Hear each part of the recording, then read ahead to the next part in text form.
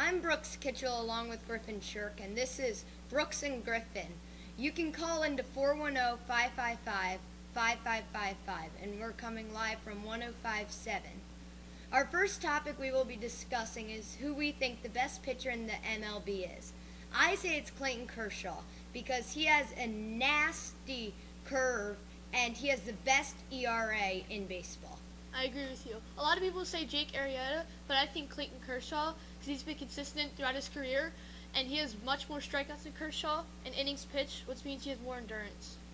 Now, on to the soccer news. In the Euros, Iceland has made it to the quarterfinals, and it's crazy because they had never made it to the Euros before. What do you think about them beating England? I think it's a crazy surprise, and one tenth of the Iceland population was at the game, so it's saying that they have so much support. It's unbelievable. And lastly, the Ravens draft. Their first four picks were defensive players. That definitely shows shows the need they need for defense after the past se- season. Yes, Bronson, Bronson Kaufusi, Kamalei Correa, and Ronnie Stanley will all help them out, especially Ronnie Stanley, because people think he's underrated.